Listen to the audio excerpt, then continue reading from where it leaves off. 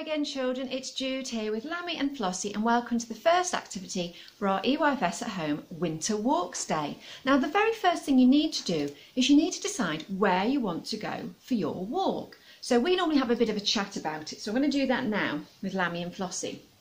Let's see where they'd like to go. Lammy says he would like to go somewhere where there are some woods and some trees.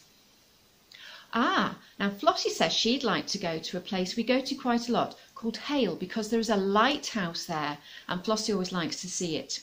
Okay, so let's have a think about this because you want to go and see the woods and you want to see the lighthouse. Well, I know we can do a special walk around Hale that will take us through the woods, down to the river, and then we walk up and we end up at the lighthouse. So we have had a little bit of a chat and we've compromised. So we're going to do something that Lammy wants to do and something that Flossie wants to do, and we've combined them. So we're going to have a lovely day out. So we're going to go and have our lovely walk at Hale.